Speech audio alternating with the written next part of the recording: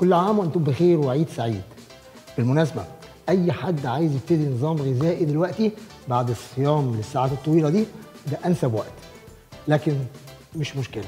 كلوا كحك وبسكوت وانبسطوا وفكروا في الرجيم بعدين.